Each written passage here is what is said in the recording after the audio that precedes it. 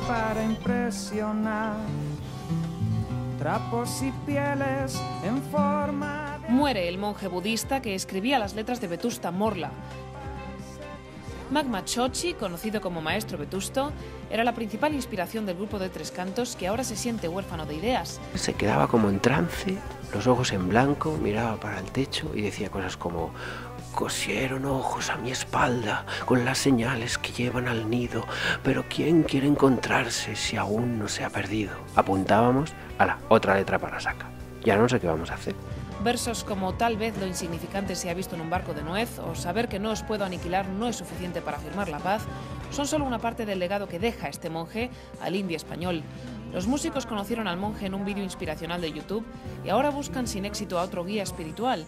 Su destacamiento ha viajado al Tíbet para hacer un casting de letristas.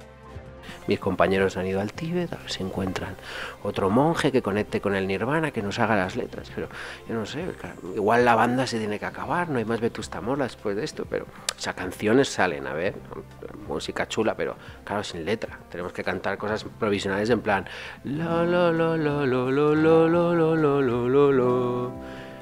No está mal, pero no, no te quedas pillado. Si no encuentran otro monje, muchos tendrán que volver a sus antiguas ocupaciones trabajando de reponedores en un súper mientras escuchan sus propios éxitos en el hilo musical.